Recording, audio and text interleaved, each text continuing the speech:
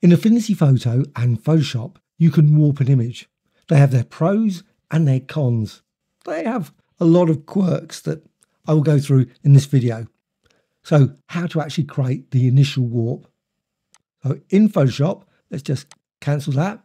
What you need to do is have a layer that's not locked. If it's locked, this will not work. So go to Edit and then down to Transform and then down here to Warp. You'll notice also in the trans there, the edits, you've got Perspective Warp, Puppet Warp. They're great warps, but they're not the same. So Transform and Warp. That's what you want.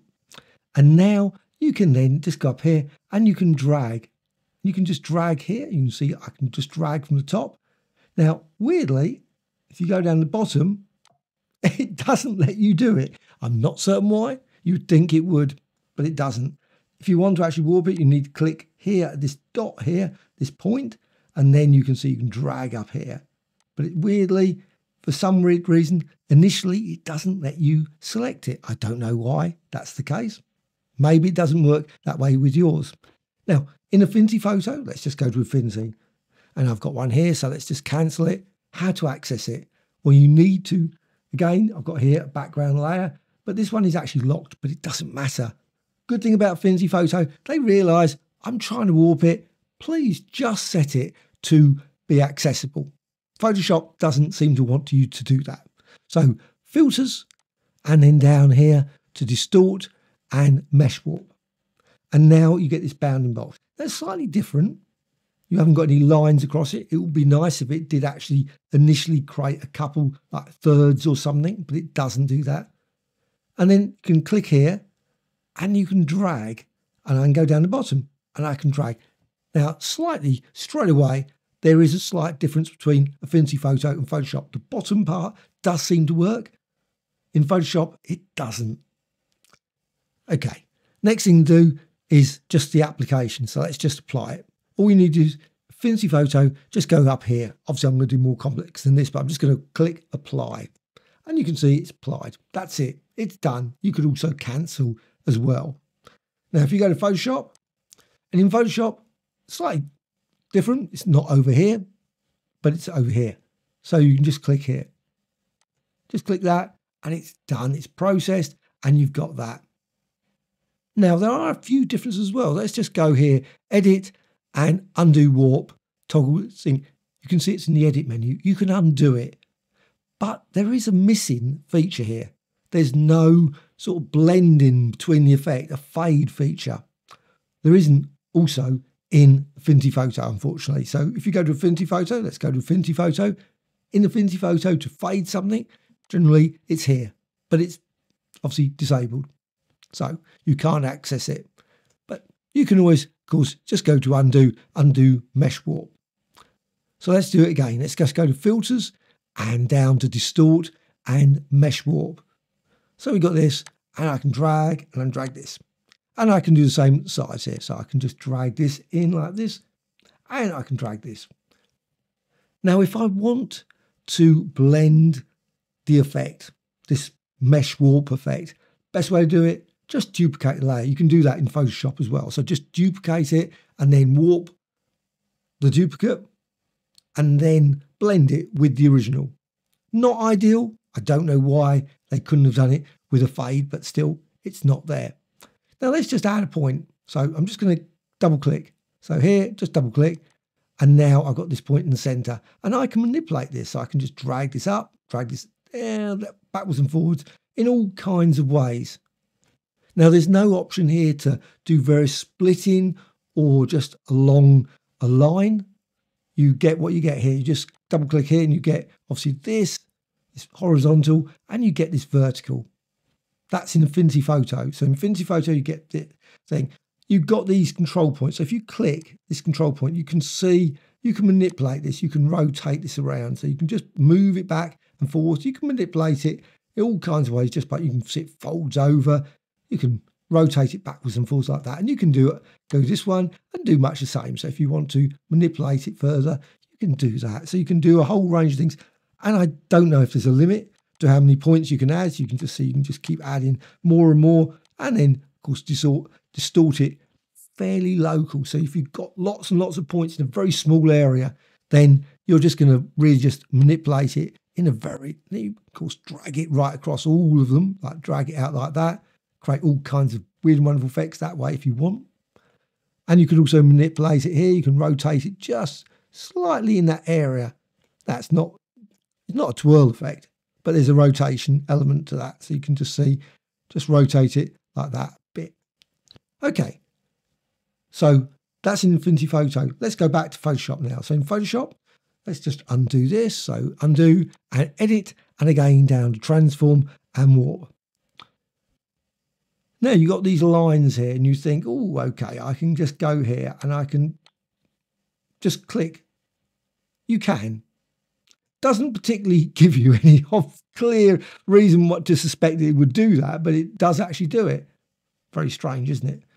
However, if you want to, you can just drag this up, drag that. But also another thing that you can do here in Photoshop is you can click anywhere here in the center. So you can just see and drag this self backwards and forwards like that. Now, if I go back to Affinity Photo and click the center, it doesn't work that way. Doesn't allow you to move that area. So you've got a slight difference there. There's some similarities, some differences. One thing you can do here, you can, of course, select multiple of these control points. You can obviously go here, hold down various things and select them. And you can then drag multiple. So you can see you can create some interesting designs, maybe not particularly useful, but you can drag multiple ones across like that or up or down, etc., to really distort that layer. Let's go back to Photoshop. So in Photoshop, you got this, and again, you can just drag this around. Well, we haven't got any points at this point other than the ones along here. So let's just, you think, oh, can I do that? Select those, Oh, it doesn't seem to be. However, we've got to add some points. Let's just go and add some points. Now, this feature is not available in Affinity Photo. Not certain why. Would be really nice. You've got the defaults here. This is the grid. So let's go to 4x4. Yeah, okay. And you get that, which I think is quite nice. That feature isn't really readily available in Affinity Photo. That would be a real nice feature if they added a feature where you could set up a grid as a preset.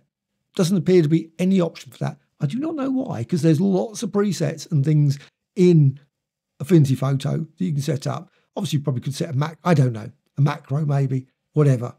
But it just seems odd that they didn't add that preset feature there. Let's go back to Photoshop.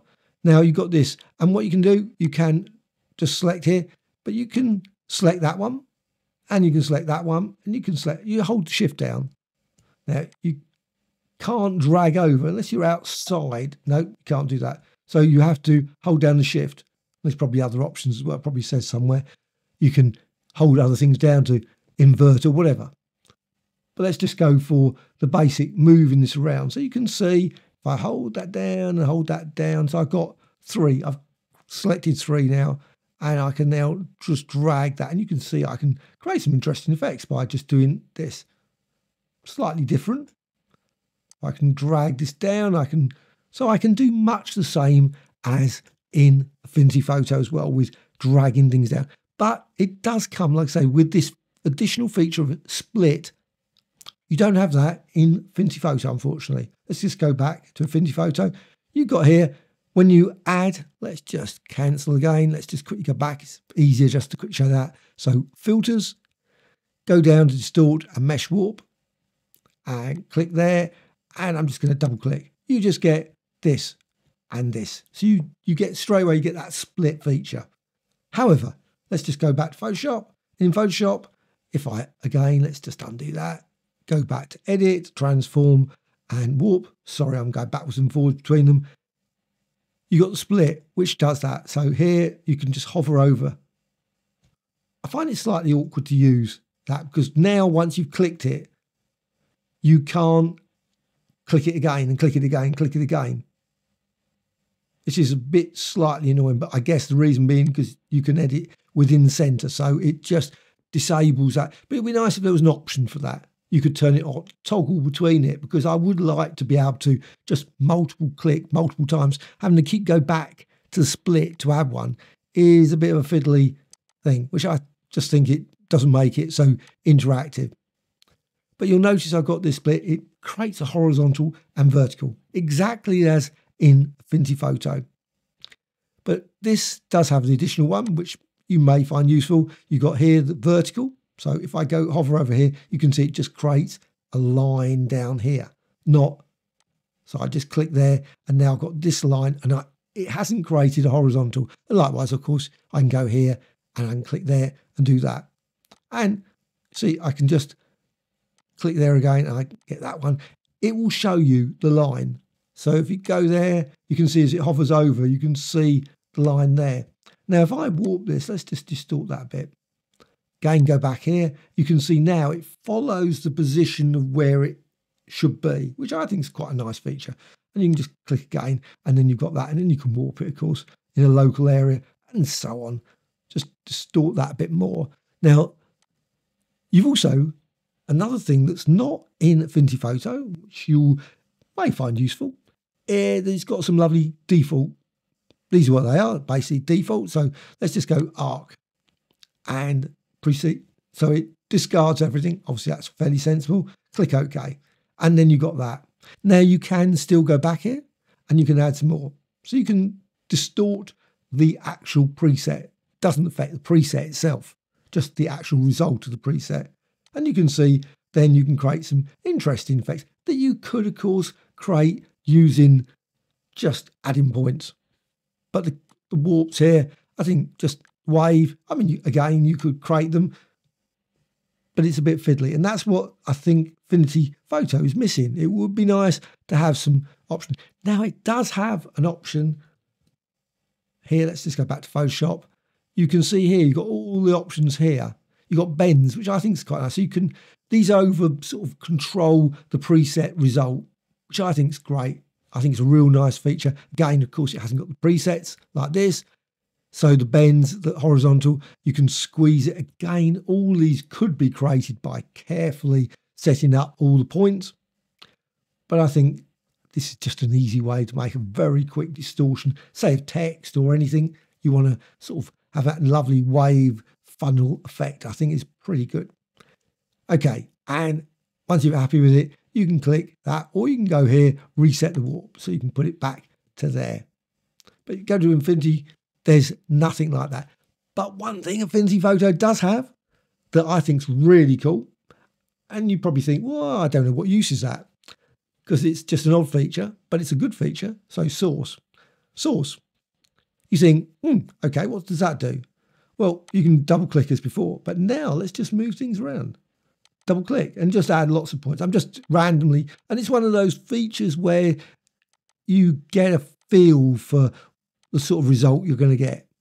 It might not end up with that, but you get a sort of feel for that. So you can see you can add points and you can create a very complex design. Now, unfortunately, a feature that's I think is lacking is lacking in Photoshop. Let's just go to Photoshop. There's no feature for you've got custom there, but you can't add your own. Wouldn't that be lovely if you could actually add them in? You got got these options here for opacity, etc., for the lines and things. So you can change that but there's no that, that do? Oh, yeah, it just fades that, makes it. I'm not certain I really ever used that. I never even thought about that, to be honest. Uh, and all these sort of density, let's just change that. You can see you can create. Okay, so you've got that sort of feature. Obviously, I've faded it so much you can't see it now. Okay, let's go back to Affinity. Back to this one. This feature is not in Photoshop. I was just showing that that isn't available. But again, you can't store them, which would be lovely.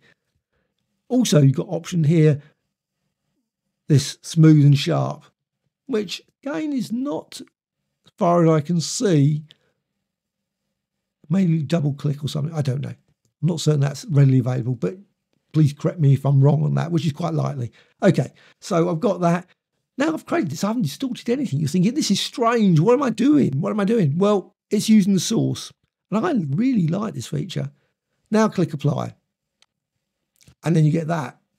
Now, you could, I don't think you could, particularly create it using the destination, but the source means it just distorts it without, you don't see it, but it's using it in a, a different way, a roundabout way. And I think it just creates a really fascinating image effects. And sometimes you don't know what you're going to get. I love that. Like this sort of weird warping of the colour. I think that's just a lovely feature. Now, filters, you can repeat it. So let's just go repeat mesh warp. And you can see then you can distort it again, repeat mesh warp, and you can really break. And you could do the same with destination option as well as a source. So you can see you can reapply it over and over again. Of course, sometimes it just ends up a bit of a, a mess, not particularly good. So, and then you can move this around. Let's just go to layers. Now, because it's locked, you can't move it. So let's just move it around. So now you can move it around. See, the warp doesn't require it to be unlocked, which in Photoshop it does. So you've got this, and then you can, of course, rotate it. You've got rotation there. So you rotate it, and now filters repeat mesh warp and it's still applying it as before.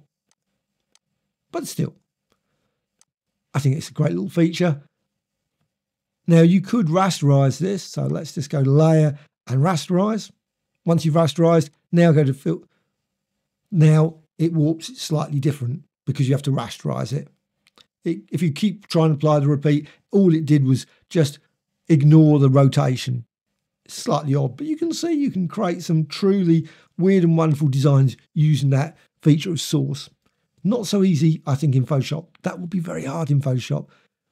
Probably can do it somehow, but a bit tricky. So you can see you've got a lot of options here, some good, some not so good. Is one better than the other? I don't think so. I think it's just one of those things where you're happy with how you use it. So if you've been using Photoshop and you've moved to Affinity, I think there's a lot of great features in Affinity, just some slightly quirky features that are, you know, that weren't in Photoshop, and that, you know, you will get used to it. And vice versa. If you go from Affinity Photo into Photoshop, I'm quite certain you'll be fairly happy with it within a few minutes of just using the feature. Hope you found this of interest. Any questions, please let me know in the comments. Always great to hear from you. What do you think? Photoshop or Affinity Photo?